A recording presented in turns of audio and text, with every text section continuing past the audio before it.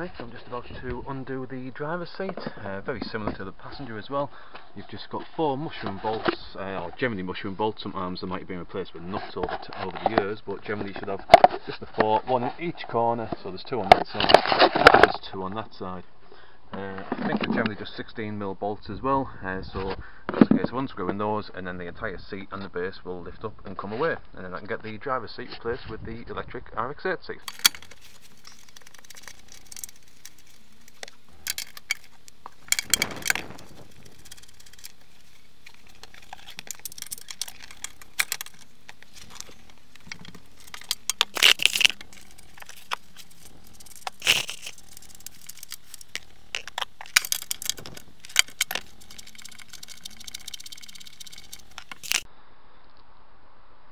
That's all four bolts undone. So now the seat should just lift with the base straight up off the uh, the actual bolts themselves and away and out the van.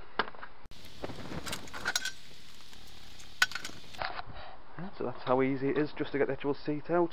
Just four nuts and bolts to take off, and the seat just lifts straight out. And then that gives you a good opportunity to get in, give the rubber a good clean around as well uh, before replacing the seat and then it's just a straight replacement straight back on for the base just with the four mushroom bolts straight onto the nuts and away you go. Right, so time to get the double seat out. Uh, underneath the double seat you generally have six mushroom bolts, uh, one in each corner and uh, one along the middle as well. Uh, typically on this, uh, five of them came out a doddle, one of them was a real pain in the ass but uh, managed to get it out without rounding it out so now it'll just tilt forward and that's the base loose and uh, ready for the seat to come out. Right, so to get the seat off the base you have four Allen bolts on the seat runners on each corner. You can either use Allen keys or hex bolts. I'd recommend the hex bolts because they just don't seem to round down as easily as some of the Allen keys do.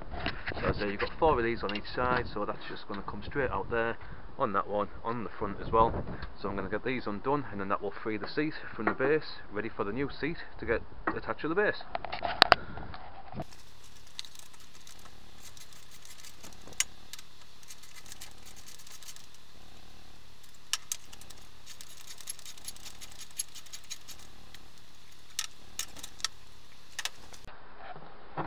ones are a bit awkward to get into with the hex bolts. You might actually need to use the allen keys for those because as you can see there it's just not really getting in without potentially causing damage to the seat. And I'm going to offer this seat for sale in case anybody wants to retrim it so I don't want to damage the seat because it's in really good condition. There's no rips or tears in it so I'm going to get the allen keys out for the front ones and get those undone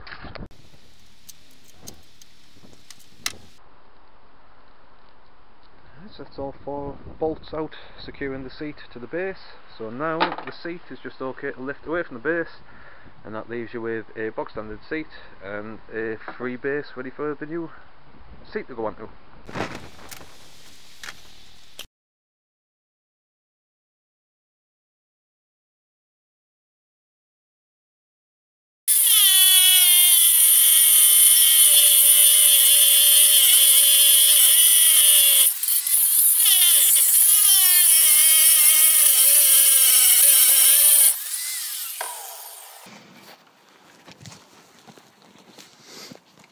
And that's what you want after you've uh, ground all of the uh, lugs off. You just want a nice flat runner. Uh, I've done the other one on that side yesterday before I ran out of grinding discs. I've still got that one to take off there. And a couple there as well. Uh, I've already done the passenger side. I'll show you that one in a minute as well but yep a uh, few more to go if I had better cutting discs it would cut through a bit quicker that's a diamond tipped one but it's been uh, cutting for ages now, so it's uh, losing its edge. So if I had some better discs, uh, it would fly through, but I don't. So I just crack on, and this is what I've got.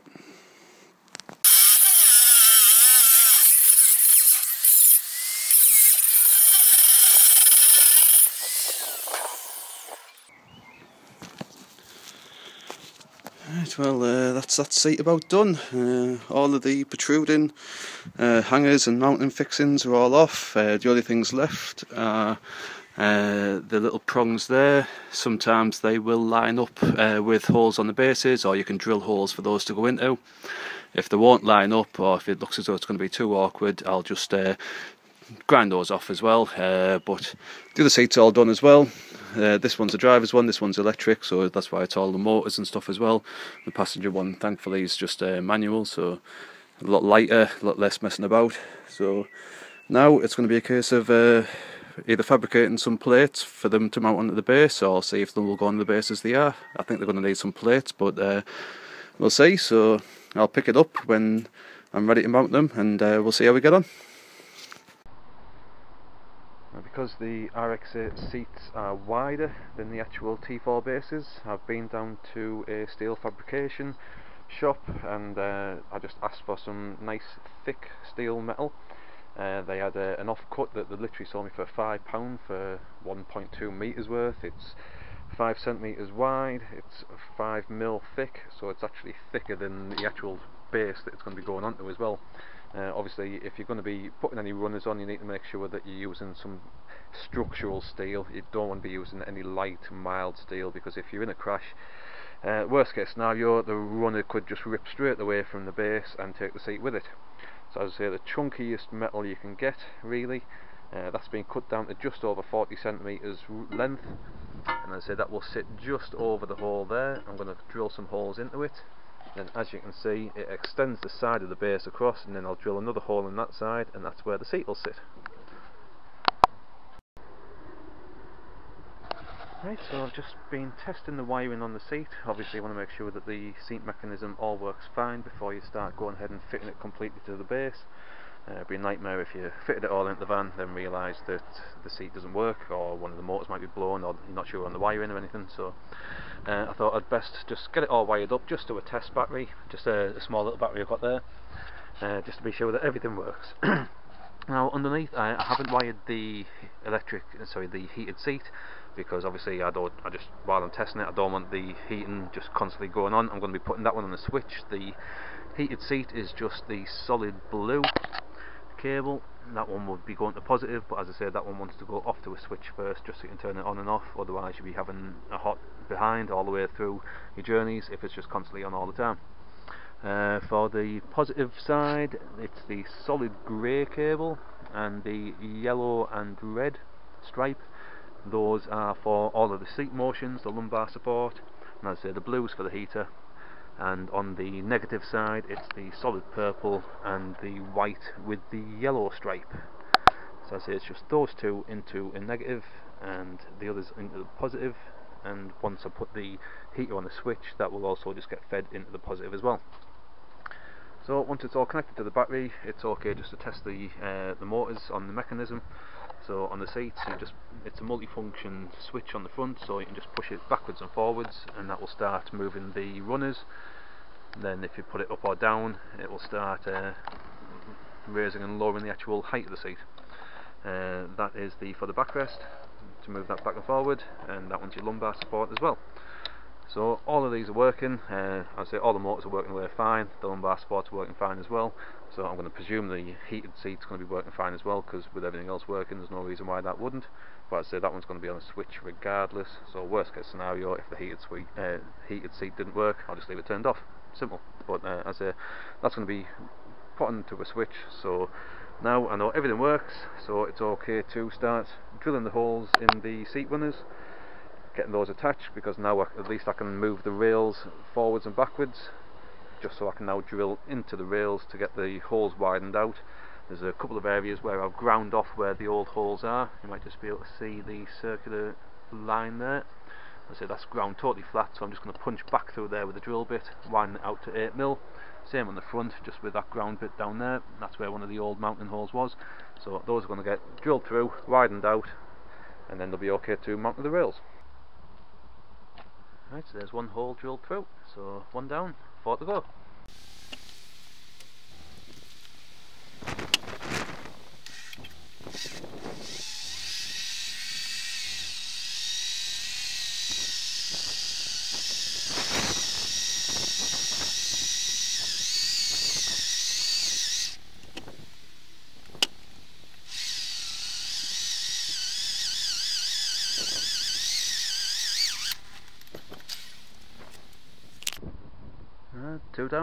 Two to go.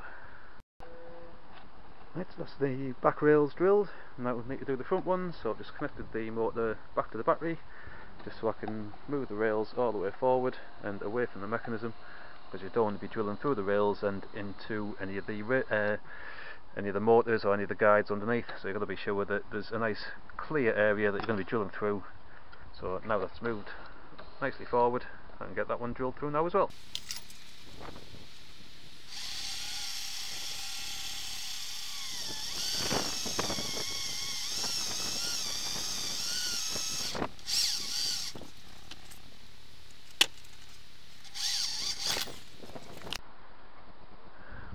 that's all four holes drilled on all four of the corners.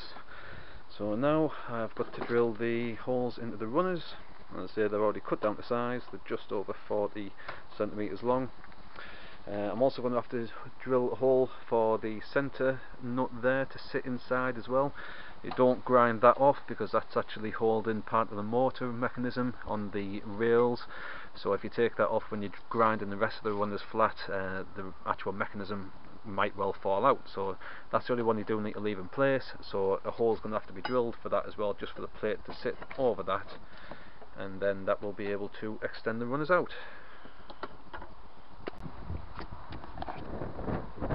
Right, so that's the seat mounted to the base now, so it's now ready to go in and have the uh, the securing bolts secured back onto the floor itself and then have the wiring run in but it's still connected to the test battery. I highly recommend having the electrics hooked up while you're trying to mount the seat to the base. It just means you can then move it back and forwards to get better access into the different corners uh, where you're going to be mounting it on.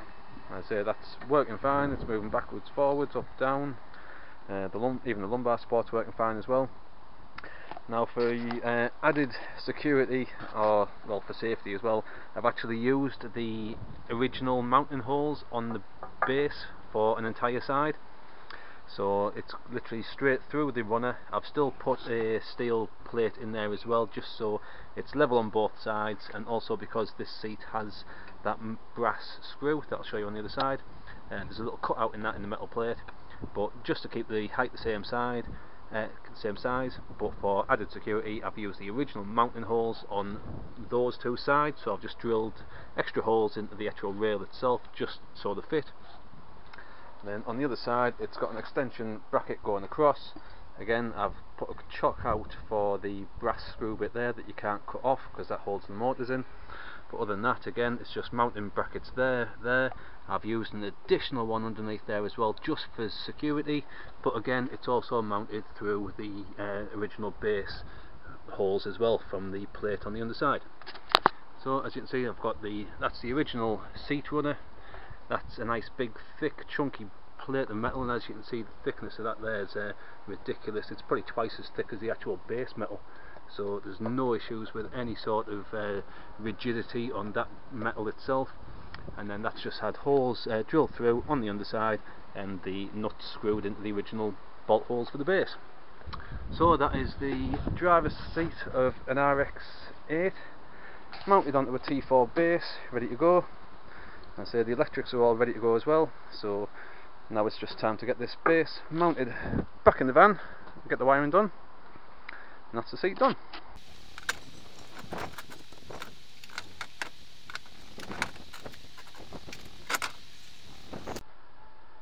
Right, so now that's the driver's seat in, I'm just remodifying the passenger seat. I did already have this fitted, uh, but I used a slightly thinner metal than I would have preferred to use. So now I've got some of the really, really chunky stuff. I've uh, taken it back out, got rid of the stuff that I was using initially, and now it's going to be using 5mm thick plate, as you can see there. I say this stuff's stupidly thick, it's uh, literally more than twice the thickness of the actual seat base, as you can see there. So there should be no issues with any rigidity in this steel because as I say it's just stupid thick. The base plate itself is only probably 2 mil thick. And as you can see there there's a, there's a bit of a difference. So there shouldn't be any issues with this.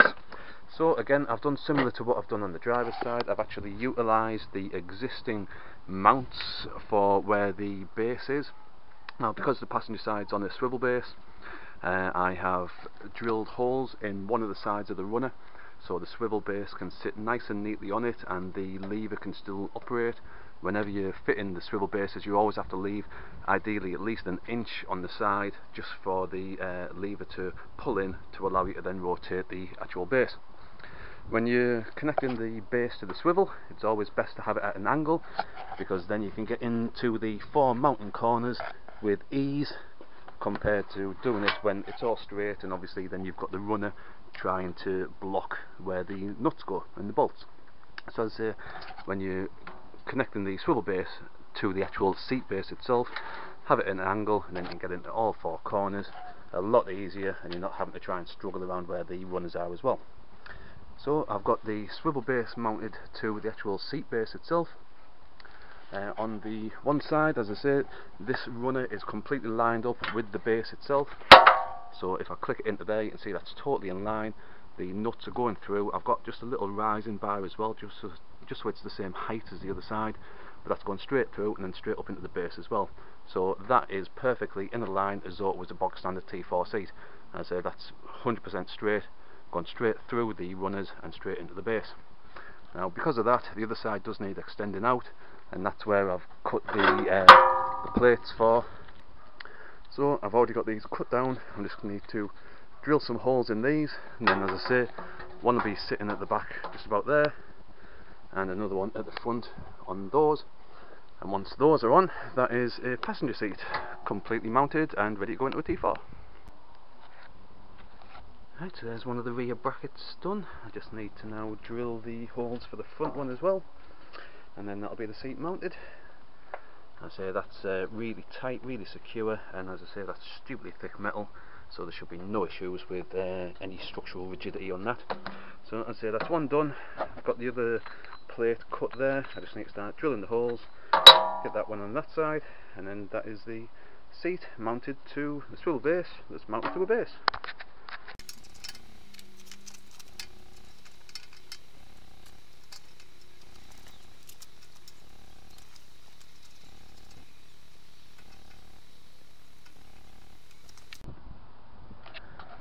Right, so that's all of the extension brackets fitted in place, uh, front and back on that side. And as I said earlier, that side's already just mounted in line with the actual swivel base itself, just for that extra security. So now it's okay to click the swivel base back in place and get it mounted back into the seat. I say, it just goes back onto the four uh, standard square bolts, secure with the, the mushroom nuts, and uh, that's it. So I'm going to get this fastened back in and that'll be both the seats fully swapped over.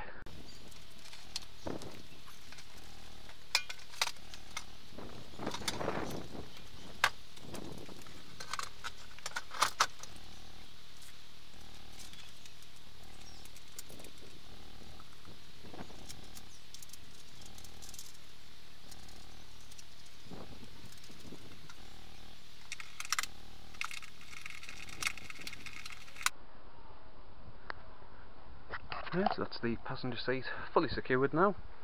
Uh, it's had all of the mushroom bolts underneath uh, secured down as well, just in all four of the corners. So that is the seat fully secure, mounted to a swivel base. Swivels around with no problems as well. To swivel it round you just need to tilt the backrest forward, so you just lift the lever. Then on the other side of the base you've got the swivel release, push that, and then the seat just swivels straight round. The seat just folds back into its uh, position again, and there you go.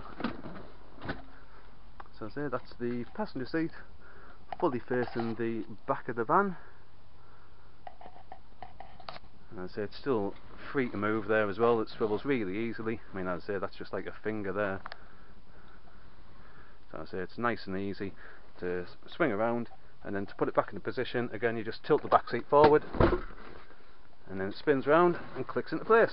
And that's it Again the backrest can then go back and just use the lever to put it back into the position that you want.